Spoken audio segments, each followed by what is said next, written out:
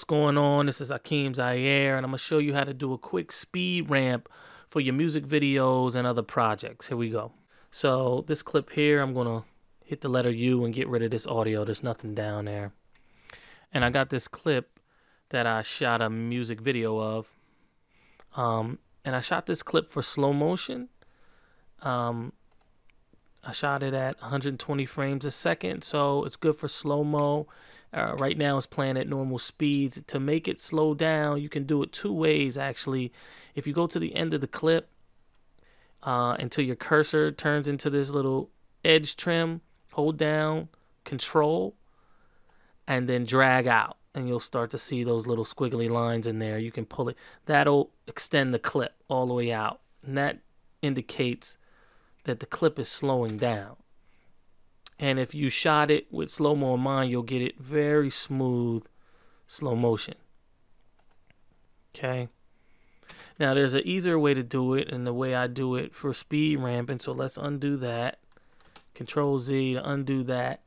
And um, it's basically this playback rate. If you right click it and then go to properties, playback rate.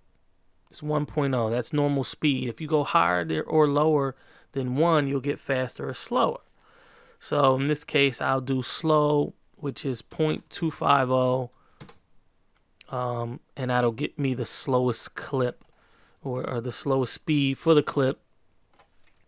And um, it's the same as if I extended it. So you could do it either way. I find this way a little easier, a little more precise. So with this, uh, again, with that playback rate, you will just go slow uh, at a point and then fast at a point, wherever you set your slice at.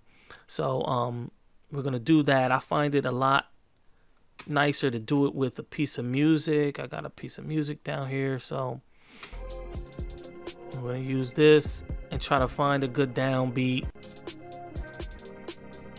Hmm. I'd like to do it when it's a, like a off, kind of an off snare or hi-hat or something right there. So wherever you choose, it's all about the feel of it. Just highlight that to cursor, hit S to slice, and in the front clip, you're gonna right click, go down to properties again to this playback, and you're gonna go up to four.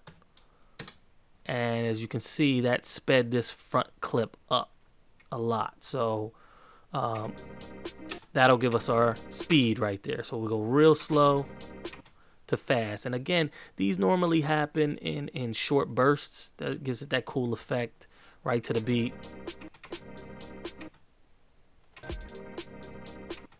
So right at this snare, we can end it. So this whole clip will be fast and then we'll slow. So we slice, right click, back to properties, and we'll go back down to that slow-mo 0.250 and we're back to slow on that clip. Let's see how it looks. Good.